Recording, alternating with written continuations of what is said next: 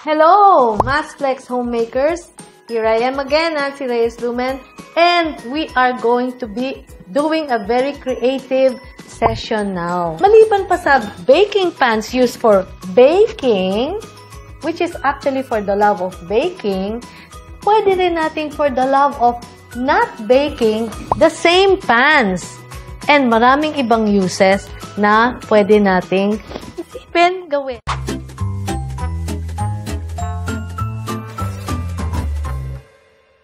The spring form pan.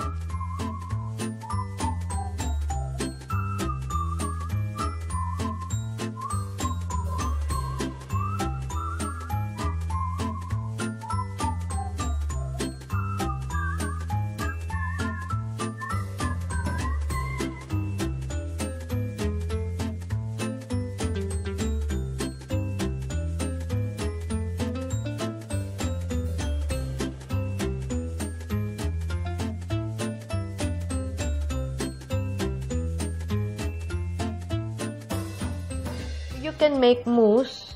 Okay? So, ang mousse, at tapos uh, in, tinap natin with strawberries. So, ang release niyan is easy. Yan. So, just before serving, pwede nyo nang i-release yan and then you can easily slice it.